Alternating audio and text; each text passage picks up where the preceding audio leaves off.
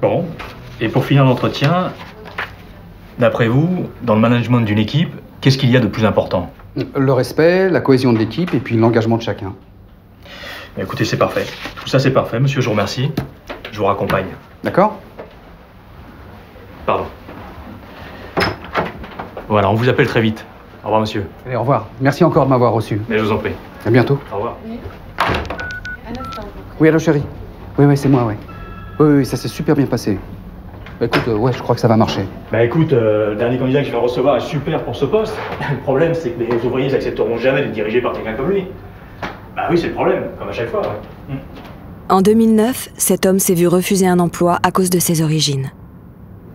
Cette situation existe toujours aujourd'hui. C'est un délit puni par la loi. Si vous êtes victime de discrimination, saisissez le défenseur des droits.